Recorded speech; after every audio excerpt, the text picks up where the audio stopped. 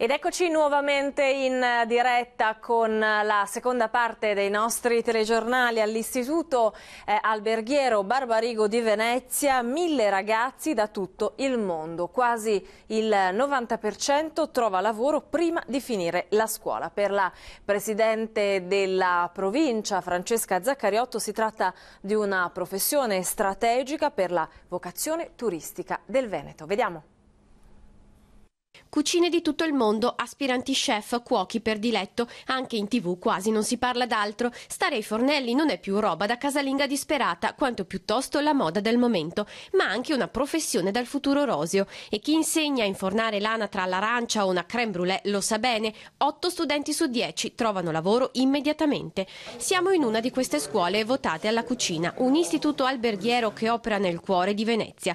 Al Barbarigo, a Castello, studiano mille ragazzi. Il 35% arriva da tutto il mondo e sono in partenza tre nuove classi.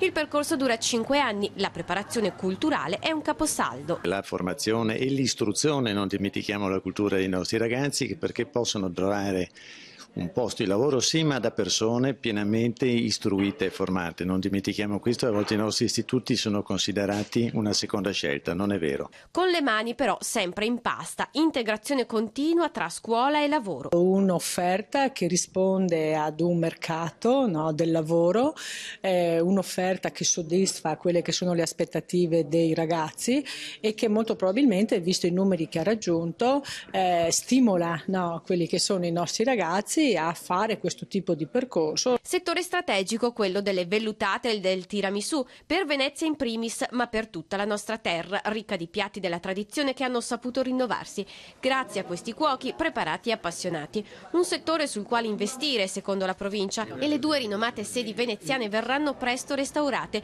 200.000 euro la spesa prevista, ma il piatto sembra valerli tutti.